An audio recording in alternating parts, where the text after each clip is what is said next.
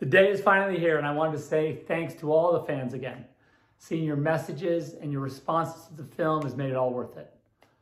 For those of you who stayed up uh, all night in the US to watch, and to fans getting up early this morning to watch in Europe and Asia, I heard that we might have overloaded a few of the platforms and uh, with your interest. So, uh, but that truly means the world to me.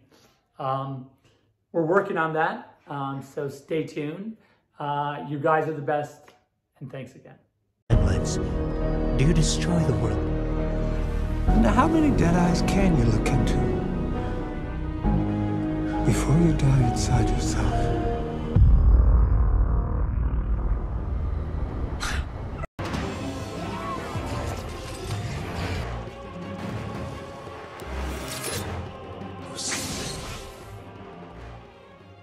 What is good YouTube, Warstu here. So I've been sent to this video. Zack Snyder confirmed Ryan Reynolds as Green Lantern in Snyder Cut role and plans. No he didn't. No he didn't. So did some background checking and spoke to some sources and stuff and found out exactly what was supposed to be going on with the Green Lantern. But already from the said article from THR and he appeared on a stream, you already know that this wasn't the case. Now let's actually read what was said. The director spoke to THR about the long-awaited film, right? And he spoke about did he consider Ryan Reynolds? And this is where people were starting to clickbait you. So what he said was there was another idea I had for the Green Lantern that wasn't Ryan. However, he still would have found a way to include the former big screen Hal. I thought that if we had went down this path for Green Lantern, I would have had to have Ryan as an additional Lantern Snyder concluded. But that's a different story. So yo, what is good YouTube? Warstu here. If you are new around here, make sure to subscribe to never miss any of the videos. Check us out on Instagram at Warstu, Twitter, Warstu Let's get into the video. So, as I've just read out here, you can clearly see Ryan Reynolds was not Zack Snyder's. He was not Zack Snyder's. He was not Zack Snyder's Green Lantern. He was never going to be Hal Jordan. Now, we know why. There wasn't a Green Lantern really in this movie. It was supposed to be John Stewart. At the end, it was not supposed to be Martian Manhunter. It's because of this HBO Max Green Lantern TV series that makes no sense because this isn't canon. It's not canon, so why would it matter? But I keep getting sent to this video. It's confirmed. Green Lantern is confirmed to be Ryan Reynolds. No. Did you even listen to what Zack Snyder said? He did not say, yes, I'm going to confirm that Ryan Reynolds was actually my Hal Jordan in the Snyder Cut. No, no, he didn't say that. He didn't ever say that. In fact, there was actually a John Stewart Green Lantern scene that was filmed, but it got took out, it got cut. So there was a compromise. There was compromise in this movie. Zack Snyder himself has said the compromisation was Martian Manhunter, which don't get me wrong, Martian Manhunter is decent, but he's no Green Lantern. So that clears that up hopefully for you guys. Now I know Grace Randolph has come out and said she was right, she was right, but Zack also said came out and said he told no one this plan. He also never spoke to anyone about it. He did not speak to Ryan Reynolds himself, so this never happened. This is like having an idea that you never tell anyone. So cool, if people wanted to guess, sure. And I'm sure Ryan Reynolds is a cool guy. I'm pretty sure he would have been up to do a cameo role for sure. He kept trolling it. He kept promoting it. To be fair, he promoted it probably more than anyone. But yeah, there was never actually a role on the table for him. Zack never gave him, Zack never, like, here's the contract, sign it, let's get it going. He was never actually gonna be in this movie. So please stop telling me that Zack Snyder confirms Ryan Reynolds as a Green Lantern. It's worded very carefully, but no, he it would have been a cameo context. It was never, he was never gonna be Hal Jordan at all. So, also in the news, what's interesting is there's multiple websites, multiple sources claiming that HBO Max want to do Justice League 2 and 3. I wonder why. Even critics are coming out and saying it's better than the first one. Now, I know you guys don't care about Rotten Tomatoes score, but the critic score is 76% at the time of recording this. But guess what? What Warstu? Really, really Warstu, tell me. Studios care about the Rotten Tomatoes score. They really do. And the audience score is over 95% as of the time of recording this video. And Rotten Tomatoes has changed the way how they do it. So it's not being bombarded and stuff. So it's a more accurate way of a metric of seeing if people did like this movie. So the critics love this movie, although critics are very subjective, let's be honest. Although it is pretty hard to become a Rotten Tomato critic, so the credentials aren't exactly easy, but in terms of getting press credentials, that's not not exactly hard. So yeah, critics love it, the fans love it, and apparently HBO Max wants to continue this series. Why do you think Zack Snyder added this nightmare scene into the movie? Yeah, yeah, let, let's just, you know, comment down below right now. Why did Zack Snyder add the nightmare scene into this movie with Amber Heard? Yeah, I, I wonder why, and Joe Manganiello Deathstroke. I wonder why And Zack's come out and said um, he'd, he'd be up for, you know, returning. Never say never. I don't know. Like,